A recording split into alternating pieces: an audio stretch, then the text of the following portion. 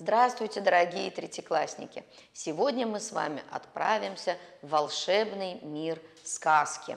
А дверь в этот волшебный мир нам откроет замечательный, великий русский поэт Александр Сергеевич Пушкин. Сегодня мы с вами, ребята, будем изучать вступление э, к поэме «Руслан и Людмила».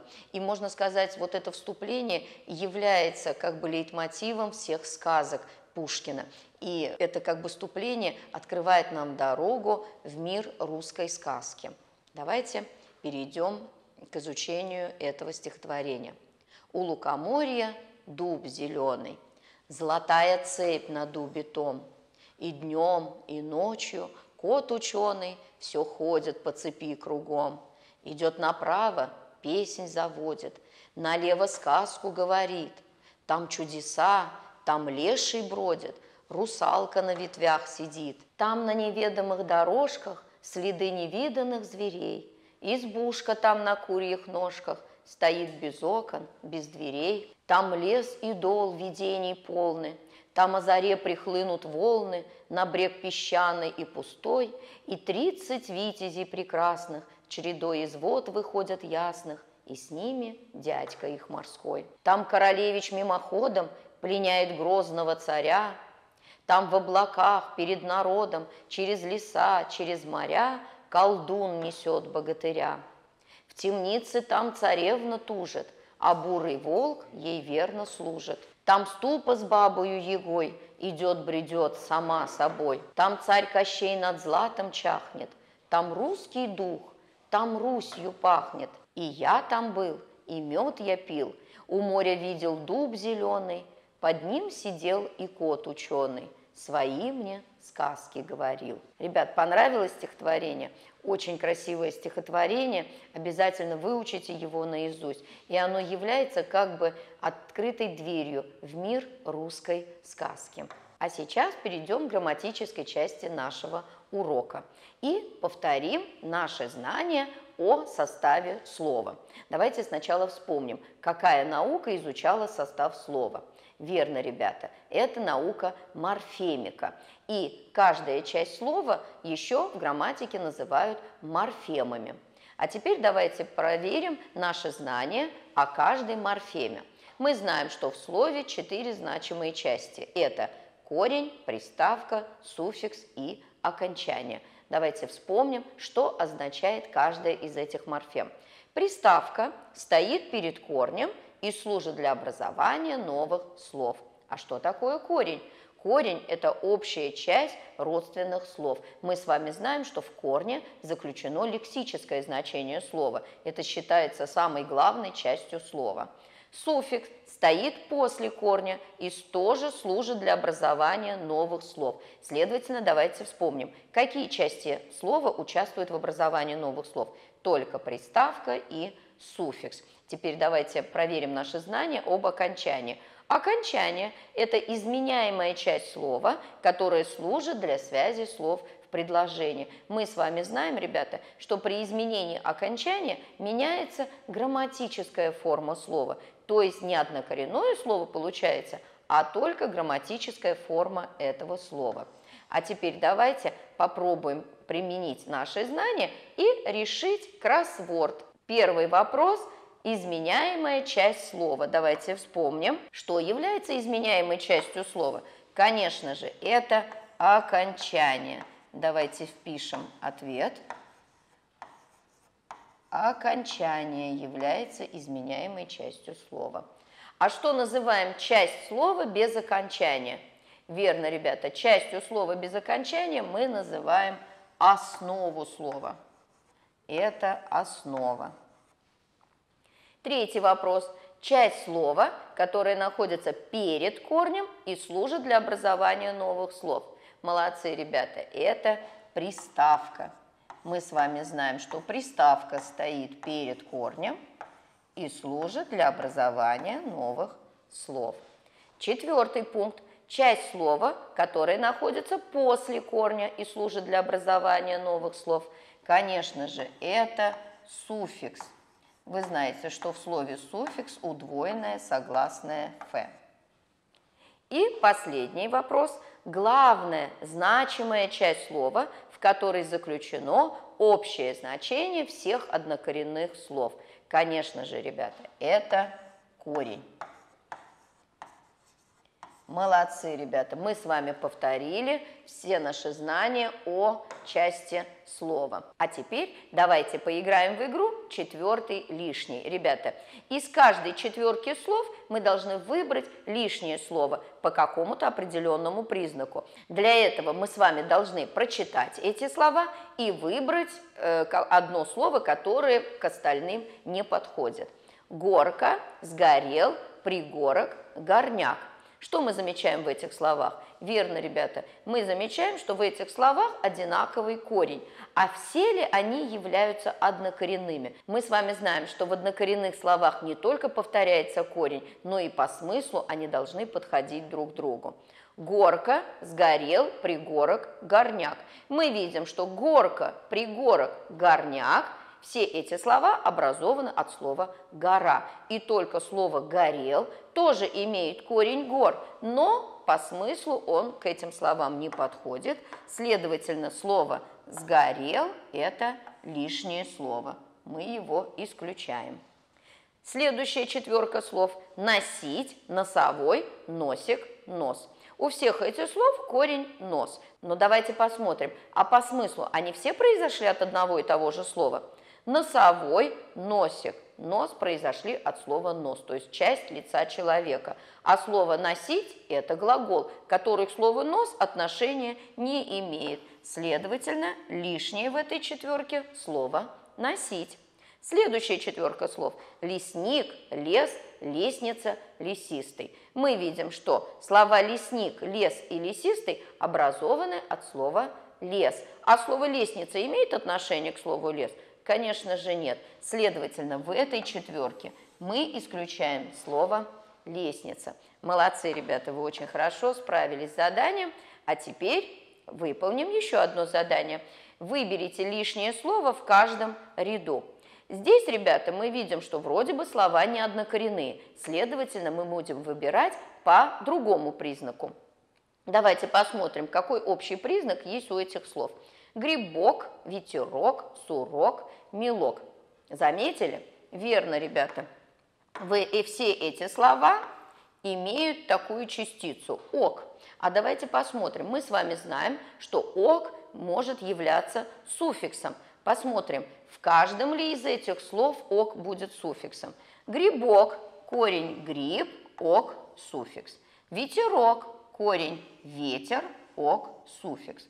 Сурок, это животное, и сурок полностью входит в корень. Следовательно, ок в этом слове суффиксом не является. А теперь давайте проверим последнее слово. Мелок.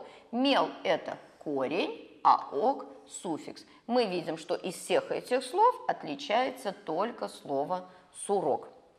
Второй ряд слов. Зимушка, старушка, ушки, игрушка. Мы видим, что в каждом из этих слов повторяется часть такая, ушк. Давайте проверим, везде ли, в каждом ли слове ушк является суффиксом. Зимушка, зим, корень, ушк, суффикс. Старушка, стар, корень, ушк, суффикс. А в слове ушки, ушк будет суффиксом? Конечно же нет. Здесь корень уж, а к только суффикс.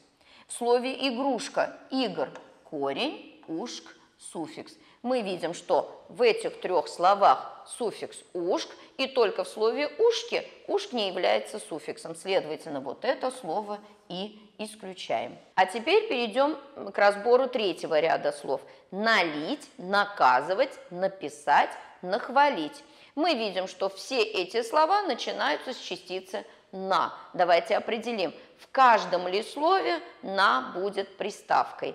Налить, ли у нас будет корнем на приставка.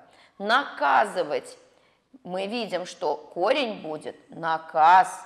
Следовательно, на не является приставкой. В слове написать корень пис, на приставка. В слове нахвалить, хвал, корень на приставка мы заметили, что только в слове «наказывать» «на» входит в корень. Следовательно, это слово мы исключаем. Последняя тройка слов – приехать, приоткрыть, природный. Мы с вами видим, в каждом из этих слов встречается часть слова «при». Давайте определим, в каждом ли слове «при» будет приставкой. Приехать – корень «ех». «При» в корень не входит, находится перед корнем, следовательно, это приставка. Приоткрыть – корень от ТКР, и «при» будет приставкой. Природный, природный от слова природа. Значит, при вошло в корень. Следовательно, в этом слове при не является приставкой. Значит, мы исключаем это слово. Ребята, все последние задания, ребята, научили нас верно выделять корень, приставку и суффикс. А теперь давайте вспомним алгоритм разбора слова по составу. Перед тем, как разобрать слово по составу, нужно выделить окончание. Давайте вспомним, как мы выделяли окончание. Для этого мы изменяем форму слова. Если это существительное, мы можем поменять по числам или по падежам. Если это прилагательное, мы можем поменять по родам, по числам, по падежам. А если это глаголы, вы можете поменять по временам или по числам. И так сможете легко определить окончание. После того, как мы выделим окончание, выделяем всю неизменяемую часть слова. А вся неизменяемая часть слова является основой. То есть выделяем основу, затем в основе выделяем корень. Корень как мы выделяем? Верно, ребята, подбором однокоренных слов. Мы подбираем несколько однокоренных слов, и какая часть повторяется в каждом из этих слов, она войдет в корень. И в конце перед корнем, часть слова перед корнем мы выделим как приставку, и часть слова после корня мы выделим как суффикс. Вспомнили? А теперь давайте применим наши знания при выполнении упражнения. И выполним упражнение 275 на странице 186 ваших учебников. Нам следует разобрать по составу данные слова. Давайте приступим к работе. Слово «березка». Значит, по алгоритму мы сначала должны выделить окончание – березка, нет березки, подойти к березке. Мы видим, что меняется буква А, следовательно, она войдет в корень. А теперь после окончания выделяем основу, и в основе мы должны с вами выделить корень. Для этого подбираем однокоренные слова. Березка, березонька, березовый. Мы видим, во всех однокоренных словах повторяется корень берез. Следовательно, эта часть слова войдет в корень, и после корня у нас остается часть слова, которая будет являться суффиксом. Следующее слово – река. Вновь выделим окончание. Нет реки, подойти к реке. Мы видим, изменилось «а». В основу входит рек. А теперь подберем однокоренные слова. Река, речушка, речка. Мы видим, что во всех однокоренных словах повторяется эта часть, просто «к» чередуется с буквой «ч», это случается, бывает. Следующее слово – слово «подъезд». Давайте поменяем это слово. К подъезду, у подъезда мы видим, что окончание появляется, но в данной форме окончания нет. Следовательно, здесь нулевое окончание. И полностью все слово входит в основу. Давайте выделим корень этого слова – ездить, подъезжать, уезжать, ездок, мы видим во всех этих словах повторяется часть «ес», следовательно, она войдет в корень, и часть слова перед корнем мы называем чем? Приставкой.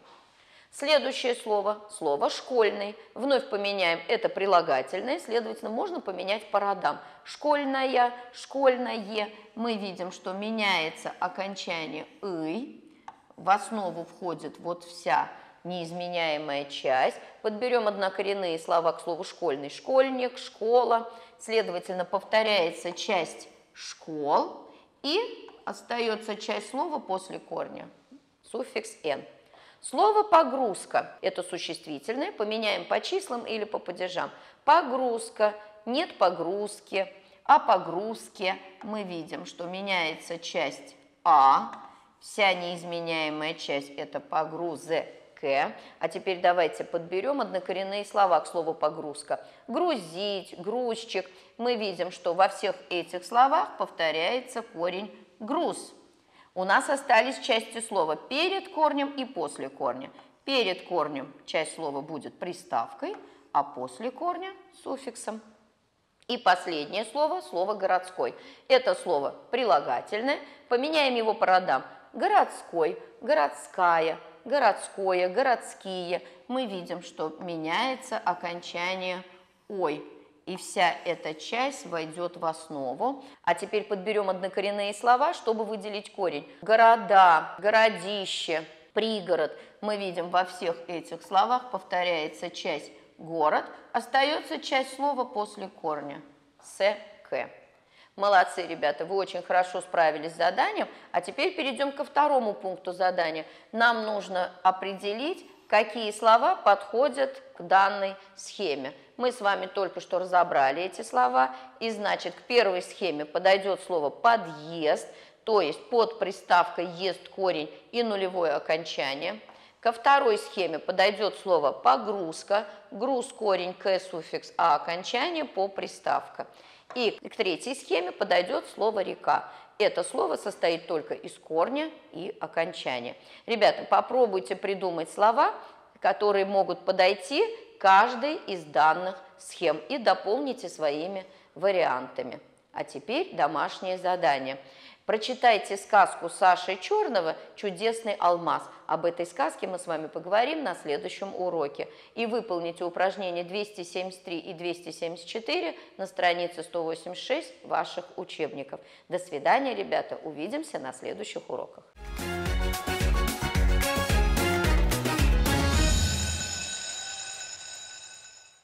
Здравствуйте, ребятки! Мы на уроке математики. Тема нашего урока – порядок действий. Посмотрите, пожалуйста, сюда. Выражение 3 прибавить 2 умножить на 4 равно.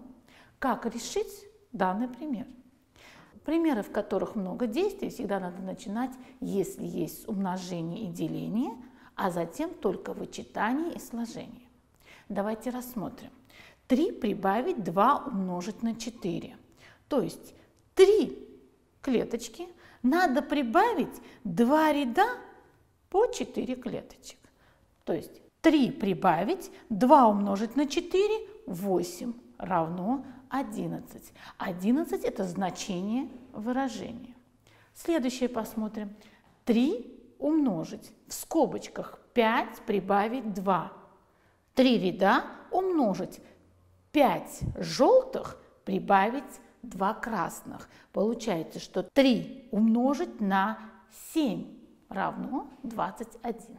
Если у нас выражение без скобок, мы начинаем с умножения деления, а затем только сложением и вычитанием. А те примеры, в которых есть скобки, ребятки, мы начинаем со знаком, который в скобке, а затем за скобками.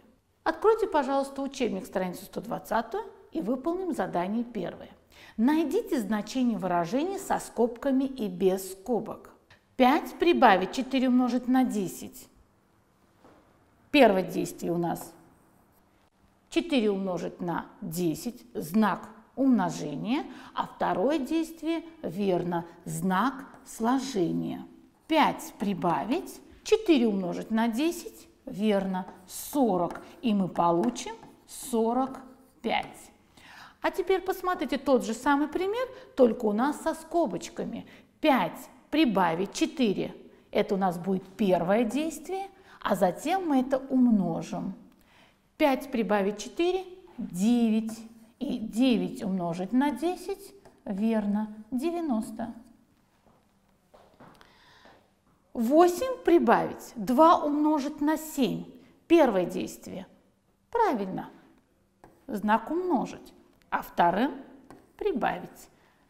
Значит, мы должны 8 прибавить 14 и равно 8 прибавить 14, 22. Обратите внимание, здесь у нас пример со скобками. 8 прибавить 2, затем то, что мы получим, надо умножить на 7. Значит, первое действие в скобках знак сложения, а затем за скобками знак умножения. 8 прибавить 2 – 10. И мы 10 умножим на 7 и получим 70. Следующий пример. 5 умножить на 4 и прибавить 36. Первым действием верно знак умножения, затем сложение. 5 умножить на 4 – 20. И прибавим 36, и мы получим 56. 5 умножить в скобочках 4 прибавить 36.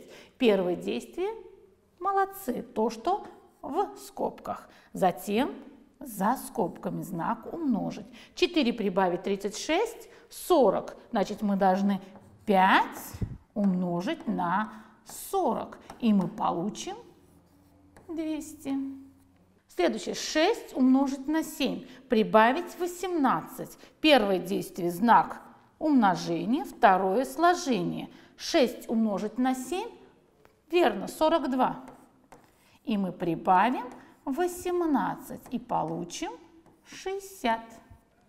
И следующее. 6 умножить, в скобочках 7 прибавить 18. Первое действие верно то, что в скобочке знак, ум, знак сложения. А вторым действием пойдет знак умножения. 7 прибавить 18, правильно, 25. И 6 умножить на 25 6 умножить на 25. 6 умножить на 5 единиц – 30. 0 запишем и 3 десятка запомним. 6 умножить на 2 десятка – 120. И прибавим 3 десятка – 150. На этой же странице давайте выполним с вами задание третье. Найдите значение выражения. Посмотрите на наши примеры. 5 умножить, в скобочках 75, вычесть 70. Как вы думаете, с чего мы начнем? Верно, все то, что находится в скобках. А в скобках у нас знак вычитания. Значит, первое действие, затем то, что за скобками. Второе действие будет знак умножения. Первое действие. 75 минус 70. 75 минус 70. 5. И вторым действием 5 умножить на 5 равно, верно, 25. И мы запишем с вами 25. Следующий пример. 8 умножить 100 минус 96. Знак вычитания. Вторым умножение. Значит, мы должны первое действие 100 вычесть 96, это у нас будет верно 4. Вторым действием 8 умножить на 4 – 32. В ответе запишем 32. 254 вычесть. 7 прибавить 2 в скобочках и умножить на 4. Как вы думаете, с чего мы начнем? Верно. Со скобочек знак сложения – это первое действие, а затем то, что за скобками. Ребятки, обратите внимание, за скобками у нас знак вычитания и знак умножения. Вторым действием верно будет знак умножения. Второе действие, затем вычитание. Третье действие. Первое. 7 прибавить 2. Запишем. 7 прибавить 2. 9. Второе действие. Значит, мы должны результат первого действия умножить на 4. 9 умножить на 4. И мы получим, верно, 36. А затем, ребятки, посмотрите, у нас третьим действием надо вычесть 254 минус то, что мы получили правильно вторым действием. Третье действие 254 вычесть 36. 14 минус 6 – 8. 4 минус 3 – 1. И 2 спускаем. Получается 218. Запишем 218. Следующее выражение. Обратите внимание, что здесь у нас скобочек нет. Значит, мы должны Правильно, обратите внимание, первым действием у нас знак деления. Значит, это будет первое действие. Затем у нас есть знак умножения. Второе действие будет умножить. И следующее у нас идет вычитание. Третье действие мы все это вычтем. Первое. 54 разделим на 9, и мы получим, верно, 6. Вторым действием мы должны что сделать? Результат первого действия умножить на 7. 6 умножить на 7, и мы получим 42. И третьим действием мы результат второго действия должны вычесть 23. 42 вычесть 23. Обратите внимание, что 2 единицы отнять 3 у нас не получится. Мы идем правильно в гости к десяткам. Возьмем один десяток, получится 12. 12 минус 3 – 9. 3 минус 2 – 1. Итого 19. Запишем результат. Ответьте на вопросы. Насколько произведение 4 умножить на 26 больше, чем произведение 3 умножить на 26? Обратите внимание, 4 умножить на 26 и 3 умножить на 26. Не решая, как можно это определить. Правильно, ребятки, здесь у нас в первом множителе 4, а в данном примере в первом множителе у нас 3. Насколько? Правильно, на одну единицу. Получается, что у нас разница должна получиться в 26. А теперь мы с вами проверим, верно ли наши мысли. Мы 26, как нам удобно, умножим на 4. 6 умножить на 4 – 24. 4 запишем, 2 Запомним, 4 умножить на 2, 8 и 2, 10. У нас получилось 104. А следующий 3 умножить на 26 мы запишем, как нам удобно. 26 умножить на 3. 3 умножить на 6 – 18. 8 запишем, 1 запомним. 3 умножить на 2 – 6 и 1 – 7. 78. А теперь давайте узнаем разницу. Нам нужно 104 вычесть 78. От 4 единиц 8 не получается отнять, и мы идем в гости к десяткам. Десяток нету, 0. Идем к сотне. У нас получается 14 а здесь у нас будет 9. 14 минус 8 – 6. И 9 минус 7 – 2. Обратите внимание, 26. Значит, наши мысли были верны. На 26. Второе задание. Произведение 4 умножить на 207 Сеймур вычислил так. 800 прибавить 40, прибавить 28, и он получил 868. В чем он ошибся? Обратите внимание, ребятки, у нас 4 умножить на 207. Давайте мы с вами сами решим и сравним его результат. 4 умножить на 207.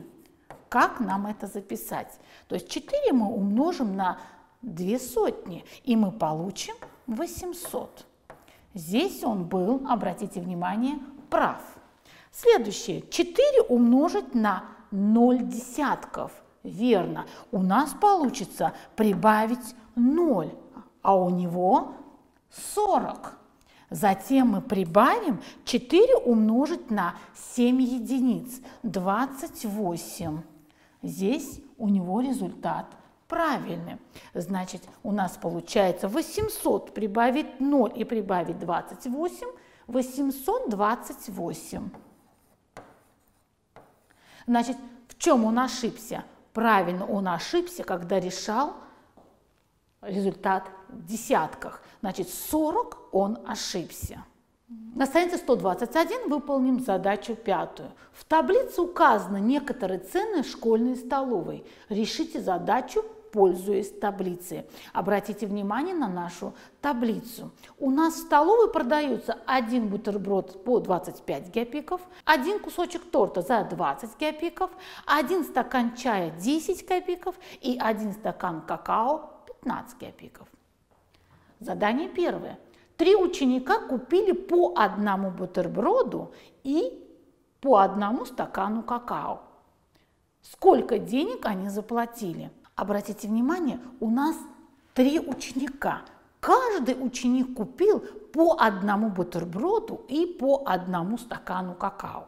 А мы с вами знаем, что бутерброд у нас стоит 25 геопиков, а стакан какао 15 геопиков. Значит, нам нужно что сделать? Верно, первый способ. Мы 25 умножим на 3 и получим 3 умножить на 5 – 15. 5 запишем, 1 запомним. 3 умножить на 2 – 6 и 1 – 7. 75 геопиков – это у нас за 3 бутерброда. 3 бутерброда. Затем второе действие. Мы узнаем за 3 какао они сколько заплатили? Значит, 15 мы умножим на 3. 3 умножить на 5 – 15. 5 запишем, 1 запомним. 3 умножить на 1 – 3 и еще 1 – 4. 45 геопиков – это у нас цена трех стаканов какао. 3 стакана какао. Затем, чтобы узнать, сколько всего они заплатили, нам нужно что сделать? Верно, прибавить третьим действием 75, мы прибавим 45. 5 прибавить 5, 10, 0 пишем, 1 запомним. 4 прибавить 7, 11 и 1, 12. Получается 120 геопиков. А это верно. А это у нас 1 монат 20 геопиков. Это у нас первый способ. А давайте найдем второй способ. Как нам решить вторым способом? Верно, ребятки, мы можем 25 прибавить 15, и это все умножить на 3. 25 прибавить 15, и это все умножить на 3. 25 прибавить 15 мы получим, верно, 40. И умножить на 3, 4 умножить на 3, 12.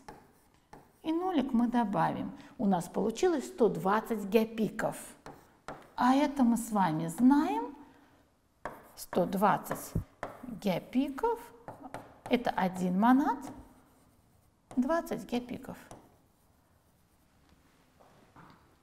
Сколько денег они заплатили? Они заплатили один монат, 20 геопиков. На странице 121 выполним задание пятое, второе. Два ученика купили по два куска торта и одному стакану чая каждому. Третий ученик купил один бутерброд – сколько всего денег заплатили ученики. Обратите внимание, по условию у нас два ученика. Каждый ученик купил по одному куску торта и одному стакану чая. По условию мы знаем с вами, что один кусочек торта стоит 20 геопиков, а один стакан чая 10 геопиков. Как нам решить двумя способами данную задачу? Первый способ – Два ученика, два куска торта. То есть мы 20 умножим на 2 и получим 40 геопиков. Это у нас два кусочка торта. Затем два ученика купили два стакана чая. 10 умножить на 2 будет 20 геопиков. Это у нас за два стакана чая они заплатят. И всего 40 прибавите 20, 60 гепиков. Это они заплатят денег всего. Общим выражением можно записать 20 умножить на 2 и прибавить 10 умножить на 2. И мы получим 60. А как это записать вторым способом? Верно, ребятки, можно 20 прибавить 10 в скобочках и умножить на 2. 20 прибавить 10 – 30 и умножить на 2 – 60 гепиков. Сколько всего денег заплатили ученики? Ученики заплатили 60 гепиков. А теперь, ребятки, возьмите листочек и ручку, запишите. На странице 120 закончите задание первое и третье, а на странице 121 выполните первое и второе задание. А мы с вами прощаемся. Наш урок закончился. До свидания, до новых встреч. Thank you.